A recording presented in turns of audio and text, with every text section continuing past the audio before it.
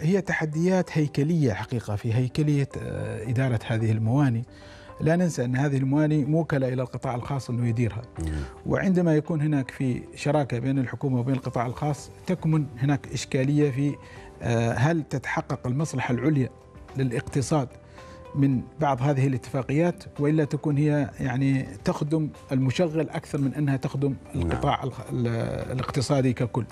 أعتقد عندنا هذه الإشكاليات في موانينا ولذلك لابد من الوقوف عليها وإزالة الإشكالية الهيكلية في هذه الاتفاقيات بحيث إنها تعطي حوافز آه للقطاعات الاقتصادية إنها تستفيد من هذه المرافق الضخمة التي أنفق عليها يعني مليارات بالضبط. من الريالات ويعني هي وجدت لتكون محركات اقتصادية وليس لم توجد على أنها تكون مركز ربحية. ففرق عندما يكون عندي مشروع يكون هدفي منه أن يكون مركز ربحية وبينما عندما يكون عندي مشروع أهدف إلى أنه يكون محرك اقتصادي.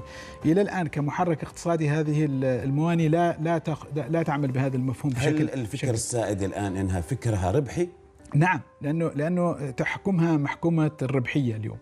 وبالتالي المشغل يحرص على الربح ولا يحرص على تحقيق الدور الأكبر نعم. كمحرك اقتصادي ولكن هنا عندما يكون هناك حوكمة وعندما يكون هناك يعني تنظيم لعملها يتم التوازن بين دورها كمحرك اقتصادي ودورها كمركز ربحية